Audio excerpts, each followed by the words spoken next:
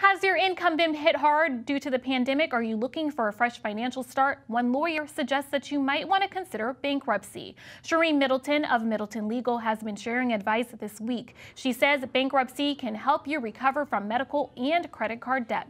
She also says if you're sued by a creditor or evicted, you may want to file right away. According to Middleton, the first step is to file, excuse me, the first step to filing is completing a credit counseling course.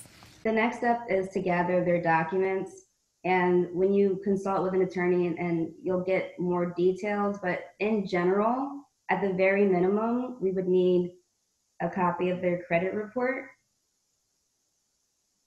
proof of income for the last six months, copy of their most recent tax return, and any bills that they might have. For more information, visit middletonlegal.net.